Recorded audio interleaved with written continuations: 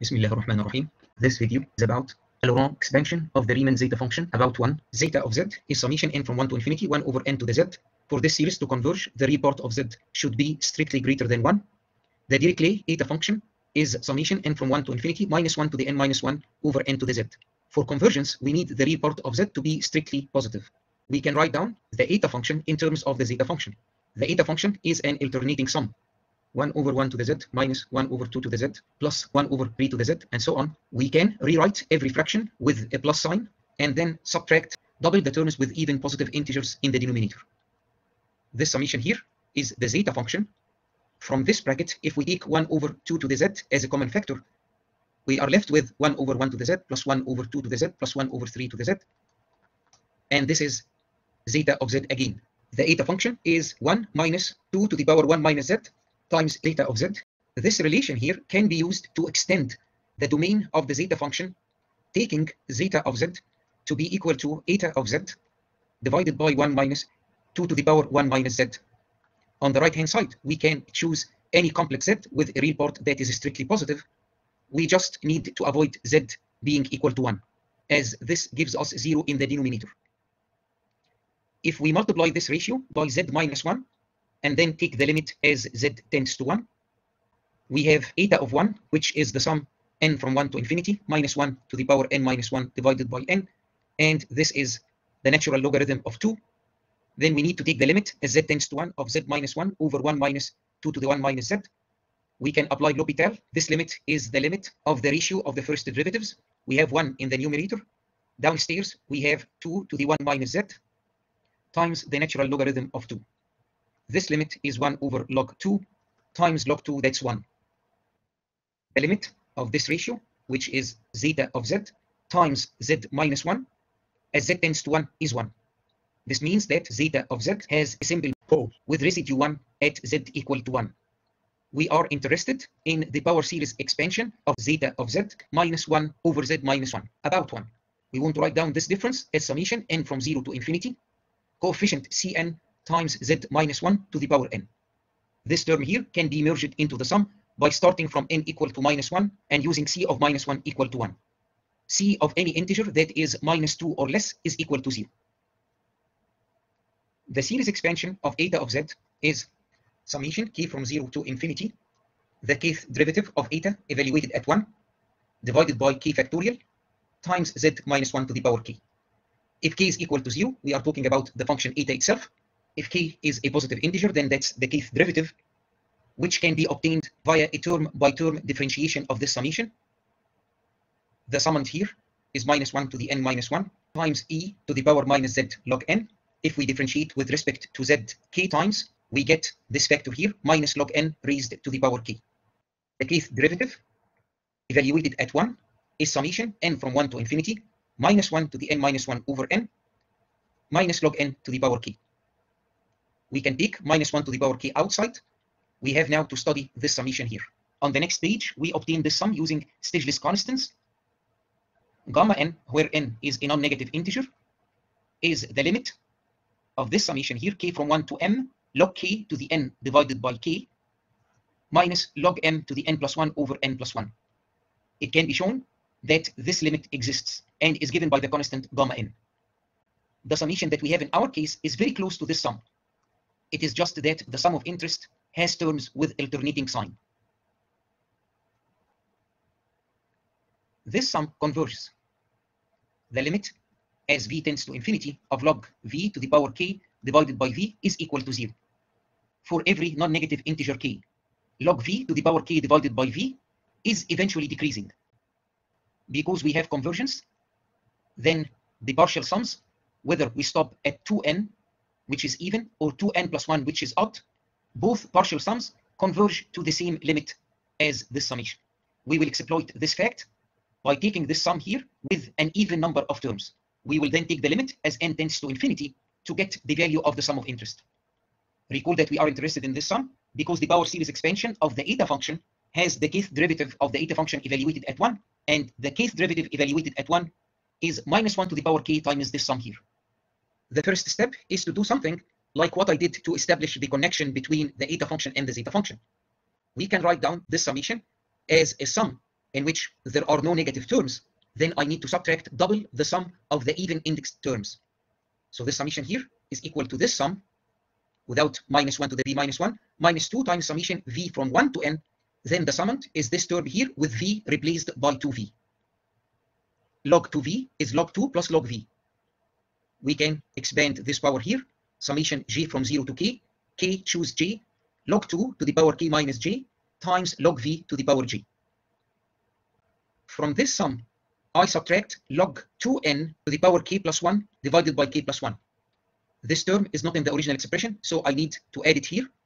The motivation is the prior knowledge that this difference here converges as n tends to infinity. Specifically, it converges to gamma k, the kth Stieltjes constant. In this part, let's interchange the order of summation. Now the outer sum is j from 0 to k, k choose j, log 2 to the power k minus j. Then we have the inner sum, v from 1 to n, log v to the power j divided by v. Let's add and subtract log n to the power j plus 1 over j plus 1. The idea is that as n tends to infinity, this difference here converges to the jth Stieltjes constant. Because of this extra term, we need also to think about this summation. g from 0 to k, k choose g log 2 to the k minus g times log n to the g plus 1 over g plus 1. We can write down this log 2 to the k minus g as log 2 to the power k plus 1 divided by log 2 to the power g plus 1. Log 2 to the k plus 1 can be taken outside the sum. This term here is combined with log n. We have now log n over log 2 all to the power g plus 1. And we have this g plus 1 in the denominator. If we call this term z, then this is summation j from 0 to k, k choose j, z to the j plus 1 over j plus 1.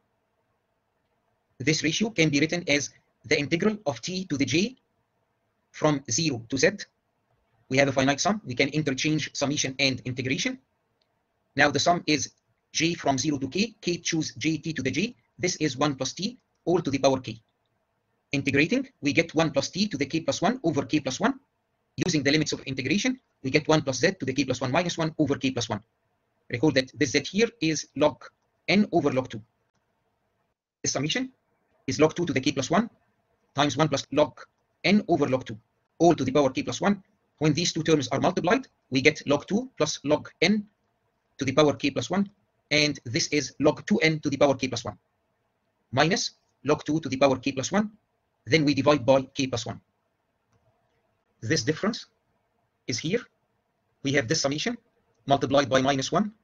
It is equal to log 2 to the power k plus 1 over k plus 1 minus log 2n to the k plus 1 over k plus 1. This term and that term cancel. Here is the remaining term. Then we have minus the sum that includes these differences. And we can take the limit. This difference is gamma k. Here is this term.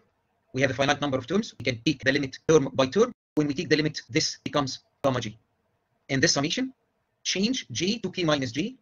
The sum is also from 0 to k. k choose k minus j is equal to k choose j. There is no problem here. Log 2 to the k minus j becomes log 2 to the j. Gamma g becomes gamma k minus j. In this summation, if j is equal to 0, we have k choose 0, that's 1. Log 2 to the 0, that's 1.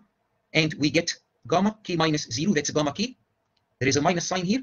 So we can discard this gamma k and start our summation from j equal to 1. This is the series now obtained as a finite sum that depends on Stieltjes constants. We have a formula for the kth derivative of the Dirichlet eta function evaluated at 1. This is just the sum multiplied by minus 1 to the power k. Eta of z is equal to zeta of z times 1 minus 2 to the 1 minus z. Eta of z has this series expansion. This bracket here is the kth derivative of eta evaluated at 1. Zeta of z can be written as this summation here, which is 1 over z minus 1 plus this power series. We can also write down this term as a power series. This is 1 minus e to the power 1 minus z log 2. We can use the series expansion of the exponential. This is summation m from 0 to infinity. 1 minus z log 2 raised to the power m divided by m factorial. When m is equal to 0, we have 1 here, which goes away with that 1. We are left with minus the summation starting from 1, minus 1 to the m, z minus 1 to the m. These two guys together are 1 minus z to the power m, log 2 to the power m. Downstairs, we have the factorial of m. This power series for the Dirichlet eta function is equal to the product of this series and that series. we are interested in those coefficients.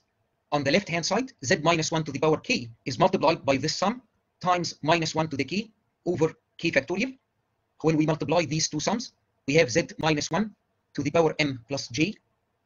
The coefficient of z minus 1 to the k is minus summation m from 1 to infinity, j from minus 1 to infinity, minus 1 to the m, log 2 to the m over m factorial. And from here we have cj. We need the constraint that m plus j is equal to k.